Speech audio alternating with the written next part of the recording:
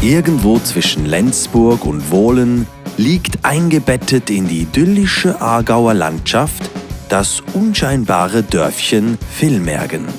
Hier, wo man es am wenigsten erwartet, gibt es einen, der macht auch die größten sauber.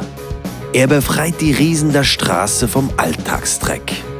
Die Rede ist von Hans. Hans Wirt.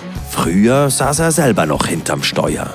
Zwischenzeitlich hat er sich in den Dienst der Sauberkeit gestellt.